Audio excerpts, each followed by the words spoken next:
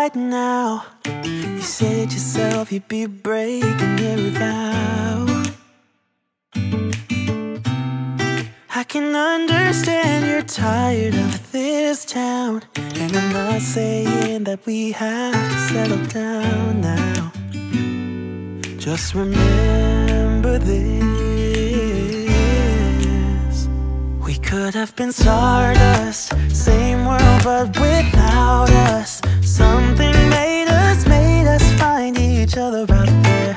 Made us realize we're more than just stardust. Ignore this fact if you must. To do what your dreams are telling you to do. And I'll be out there looking for someone いつも「ライクサタデーチャンネル」をご覧の皆様本日は皆様に私たちから2つご報告がございます。はい。まず一つ目のご報告は私たちはバンライフを一時中断することになりました、はい。そして私たちは今竹富島にいます。あありがとうございます。ー 沖縄県です。来たなぜ私たちがわざわざバンライフを中断してまでここ竹富島にこのタイミングで来たかったかというとちょっとどうしてもね来たかった理由があります、はい。2021年の3月20日は私たちが宮古島で結婚式をする予定の日でした私たちもね宮古島に何度か足を運んで式場を見学したり2人で準備を進めていたんですけども、まあ、コロナウイルスの関係で結婚式を中止せざるを得なくなってしまいました。私たちは石垣島と宮古島が学生時代から何度も通っていて大好きな場所だったのでそこで結婚式を挙げたかったし家族や親戚と一緒に旅行も兼ねて宮古島を案内するっていうのがすごく楽しみにしていたことだったので中止になった時はすごく落ち込んだんですけども、まあ、幸いにも結婚式のキャンセルに関してはキャンセル料がかかる前にキャンセルすることができたので費用等はかからなく済みました。しかしですねある大きな問題が発生してしまいました。宮古島での結婚式をですねこの人生の最大のイベントとしてすごいいい思い出にするために私たちはここ竹富島で超高級リゾートのホテルを予約しました。はい。そのリゾートの名前は、えー星のや竹富島になります。あの星野リゾートが経営するリゾート地です。はい。その超高級リゾート星のや竹富島がなんとキャンセルできなかったんですよ。なんでキャンセルできなかったかっていうと私たちはね少しでも安くこの星のや竹富島に泊まろうと思いまして1年以上前にね120日前優待っていう60%オフになる割引で予約させてもらったんですね。でその割引の条件としてキャンセル料もう予約した瞬間から100%かかりますっていうキャンセルポリシーを私たちも承諾して予約してたんですよ。なのでね今回キャンセル料がかかってしまうのは本当にしょうがないことなんですよね、とはいえですね皆さんもご存知の通り星野リゾートっていうのはもうめちゃくちゃ高級リゾートで60%オフになったとはいえ まあ高いんですよ。めっちゃ高いよ。うかなりね覚悟して私たちもね予約したホテルですようね、ん、たった一度のですねあの結婚式なんで、うんまあ、後悔もしたくないですし、うんここは思いっきりガツンとお金を使おうということで当時1年以上前に予約したんですけども、うん。まあ、結婚式が、えー、と中止になってしまって、うん。宮古島に行く予定も石垣島に行く予定もなくなってしまったっていうことが、とても悲しかったですしそれでさらにそのキャンセル料が100%でかかってしまうっていうのは、まあショックだったね。そうだね。やばいと思ったよね。そこで、まあ、私たちちょっと話し合って、まあ、家族でみんなで結婚式で宮古島に行くっていう夢は叶わなかったんだけどそのタイミングで2人で石垣島に行って竹富島でホテルだけは泊まりに行こうということであの話し合った結果今回この石垣島に行くっていう旅行が決まりました。はい、なんでねゴールドンミラーを置いて私たち2人だけで沖縄に来たんだろうと思ってる方もいらっしゃると思うのでそちらをちょっと説明させていただきます、はい。本当はですね私たちもゴールドンミラーを連れて一緒に石垣島に行こうと思っていました。ライフを始めたらすぐに南下していって九州の方に向かって九州からフェリーで春頃沖縄に行こうかなという計画を立てていたんですがちょっとルーフラッグがコロナの関係でですね輸入が遅れてしまって到着が遅くなってしまった。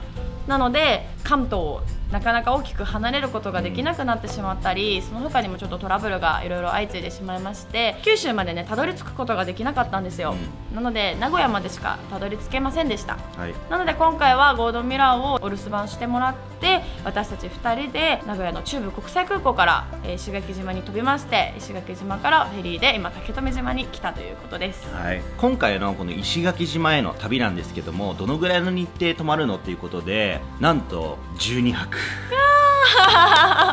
いややばいでしょ。やばいでしょって話だよね。その結婚式を実際にやろうとしてた日程前入りからあの結婚式が終わって石垣島に行って石垣島旅行っていうその丸々取ってた期間しっかり旅行しようということで、ね。うん、12泊しっかり取りました、はい。せっかく行くんでねそうですね。ゆっくりしたいということで、はい、なのでねこの12泊の石垣島観光が私たちのもうハネムーンのような感じにもなりますしあとは宮古島での結婚式はできなかったんですけどそれに代わる一生の思い出をこの12泊間で2人で作っていきたいなと思っております。はい、私たちがね宮古島で結婚式を挙げようと思ってたぐらいなんであの石垣島も宮古島もめちゃくちゃ好きなんですよ。はい。大好き。もう本当に、でうん。特に石垣島はうん。もう何度も何度も来ていて、はい。実は今回で5回目の石垣島になります。そうだね。そのぐらい来てるよね。来てる。でしかもうん。1回行ったらさ5泊とかするからそうさ、だね。結構来てんだよ、うんそうだね。結構来てる期間なで言うと。そう考えると、ううん私たちのねプロポーズの場所もね石垣島だったっていうくらい石垣島には思い入れがありますよね。懐かしいね。そんな何度も行ったことある私たちがこの旅行に行って石垣島でねおすすめのスポットだとか、うんまあ、ご飯屋さん、うん。いろんなことをねこの今回の動画で紹介できればいいなと思っております、来たら絶対行くってところ何箇所もあるもんね。ある。もう基本的にルルーとかに乗ってる観光地がもうほぼ行ったのよ、うん行ったかも。その中から鍾乳洞さえ行ったから、ね、鍾乳洞さえだから結局ここ行く、毎回行ってるよなみたいな、うん。おすすめやっぱここだよなみたいなの出てくるじゃん、そういうところを皆さんに共有できればいいかなとね思います、そうですね。もちろん今ここいる星のや竹富島についても詳しくはい。紹介しますのでもうねとにかく最高です。もうね本当にやばいよ。もう本当にこれでよかったって一日中ずっと思ってるので、うん。この気持ちをね次の動画から皆さんにお伝えしていければと思います。超末です。はい。やでもいいハネムーンだね本当に。実はうちらハワイもハネムーンで一回行ってんだけどね、うん何回行ってもいいからハネムーンは。ハネムーンってだって回数制限ないでしょないないでしょ別に。新婚って決まりないでしょ。期限ないでしょ全然。10年後だったらハネもうハネムーンでしょ。旅行でしょ全然。いいでしょ。それ人それぞれだから。で今本当に強く思うことは、うん。1年前の俺らあ。予約しといてくれてありがとありがとうなんかうただなんじゃただない？ただなんかな今みたいなすごい最強のメンタルでただじゃないよ。え？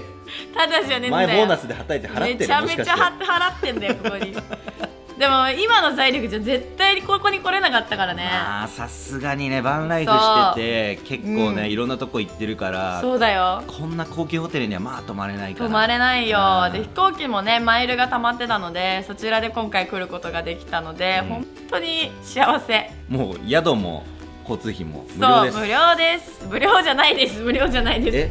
無料ですじゃなかった。払ってます。過去の自分が。毎日涙流しながら働いてたあの時の私たちが。はい。血へど吐きながら払ってます ということで約2週間私たちはですねバンライフを中断させていただくことになりました。なのでまあ動画内で言うとさ3週間1ヶ月弱ぐらいになるのかな。石垣島での動画が続くと思いますが私たちのね一緒に一度の思い出作りを皆さんぜひ一緒に楽しんでいただけたらと思っております。よろしくお願いします。はい。なのでこれからも応援よろしくお願いします。お願いします。こちらが一つ目のご報告でした。はいじゃあ2つ目の重要報告ということで発表させていただきます、はい。私たちライクサタデーはサブチャンネル開設します。あ来たサブチャンついに。もう1万人とか超えたあたりから、うん。実はねやろうかっていう話は出てたんだだけどね。うん。なんかねやっぱちょっと自信もなかったし後ろに流れてはいたんだけど、うん。最近コメント欄とか DM とかに、サブちゃん解説しないんですか？みたいな後押しの声をたくさんいただきまして。うんありがたい。本当に、うん。あのそれがちょっと自信にもつながりそうだね。今回このタイミングでうん。サブチャンネル解説ということでなりました、はい。サブチャンネルの内容についてなんですけどメインの動画では今まで出してこなかったなんかこう社内での私たちのおしゃべりとか、まあ、ドライブ中の2人の感じとかあとバンでね2人でお酒飲んでるところとか今までメインの方では使ってこなかったバンライフの裏側みたいなところをどんどんね出していきたいなと思ってるので、まあ、よりまあ、今十分リアルなバンライフをお届けしてるつもりなんですけど さらにさらによりリアルなバンライフをねサブチャンネルの方では皆様にねお届けできるかなと思っております。はい、私たちがサブチャンネルを開設した一番大きな理由としては、バンライフを始めたことによってお酒のね回が減っちゃったってことなんだよね。そうね。やっぱりバンライフをしてると運転がねどうしてもあるのでお外でねやっぱ飲みに行くってことがねほぼほぼできないんですよ、うんその後運転して帰らないといけないから。なので2人がね普段ねやってるバンの中での飲みとかを皆さんにはねどんどんそのサブチャンネルの方であのお出ししていけたらなと思ってます。私たちの共働き時代の動画とかはやっぱりお酒好きっていうのもね結構一つのテーマとしてやってきたので視聴者さんの中にもお酒が好きな人がすごく多いと思うんですね。でお酒を飲みながらいつもライフサタデーを楽しんでくれてるっていうお声も結構いただくので。でそういった方々がまたねお酒が進むような動画をね出していきたいなと思っております。はい、ということでそんな私たちのサブチャンネルの名前を発表します。はい。ハングオーバーで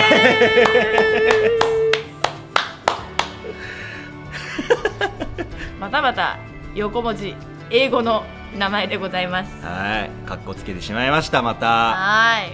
英語でハングオーバー。日本語に訳すと二日酔いでございます二日酔いチャンネルです。夫婦チャンネル感ゼロだよね本当に。夫婦チャンネルで未だかつてないよねこんな頭悪い 頭悪い名前つけるやつ。普通さなんとか夫婦とかさそういう名前でしょ、なんとかの部屋とかね。うん。ハングオーバー 見たい？おかしいでしょ。私だったら絶対見ないわ、ハングオーバーはですね基本的にはまあ不定期、うん。で、まあ、週1回とか、まあ、多くて2本とかね投稿できたらいいなという感じで編集や内容等もね結構メメインのチャンネルよりは緩めなのほほんとしたチャンネルになってくるかなとは思っておりますもうあんまりルールも決めずにそうだね。型にはまらず、うん。あげたいものをボンボンあげていく感じだね。まあお酒にお酒だけってわけでもなくねリアルな姿をねどんどんお見せできるような緩めのチャンネルしていきたいと思っております。はい。サブチャンネルの方なんですけども本日から実はもう指導しております。でこの動画を上げたとと同時にね一歩目の動画も上がっておりますそちらの方ではですね、まあ、サブチャンネル開設するにあたっての思いとかをもうちょっとお話ししてたりあとはそのハングオーバーっていうね名前の由来みたいなものももう少し詳しくお話ししていたりもするので、はい。ビール片手にねほんと2人であの話してますのでよければぜひぜひそちらの動画この後すぐ見に行っていただければいいなと思っております。ぜひ見てください。はい。そしてですねいつもメインのチャンネルを応援してくださっている皆様本当にいつもありがとうございます。ありがとうございますぜひぜひこれからサブチャンネルのハングオーバーの方も可愛がってあげていただけると本当にお願いします。マジで。嬉しいです。チャンネル登録本当によろしくお願いします。はいということで今回の皆さんへのご報告2点はこちらの2つでございました。まあ何よりまあ一番伝えたかったのは私たちがこうやってねハネムーンみたいな感じで今2人でねまあバンライフ中の2人とは思えないようなホテルに宿泊させてもらって12泊という贅沢な旅行を今からするわけですけどもまあ結婚式ができなかった分ねこの12泊は楽しみたいという私たちの思いが今回の動画で伝わっていただけるとすごく嬉しいなと思っております。いや本当に。一生の思い出だからねこれは完全に。うん、本当だね。この石垣島旅行はのんびりと2人だけの時間も作りつつ過ごしていきたいなといつもね結構撮影に追われてるから、観光の時ね。うんそうそうちょっとこの2週間はのんびりしようぜっていうね。でまたね2週間の旅が終わったら名古屋の方に戻ってそこから旅を始めていきたいと思っておりますので。石垣島が終わっても楽しいことしかねえ。ねえ人生楽しい という感じでねバンライフ一時中断しますっていう重々しいタイトルでスタートしてしまったんですけど、まあ、蓋を開けてみたらちょっと2週間石垣島で贅沢させてくださいというご報告の動画になりました。はい。はい。そして、えーサブチャンネル開設しましたということでそんなね重々しくなかったかな、うん全然重々しくないよ、うん。前回えー俺らだから重要報告って言って仕事辞めてバンライフしてるからさ。か。それに比べてちょっと弱いかな。じゃあみんななんか構えたかな。ということで皆さん最後までご視聴いただき本当にありがとうございました。この動画がいいなと思ったらチャンネル登録と高評価よろしくお願いします。バイバーイ。サブちゃんもよろしく